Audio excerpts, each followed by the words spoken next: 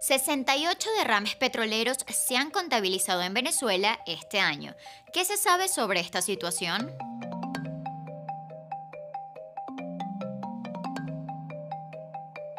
El Observatorio de Ecología Política ha registrado los desastres ambientales y asegura que estos derrames no han sido atendidos por petróleos de Venezuela, lo que tiene como consecuencia que estos accidentes afecten ecosistemas e incidan en la salud, alimentación y dinámicas de trabajo de las comunidades donde ocurren.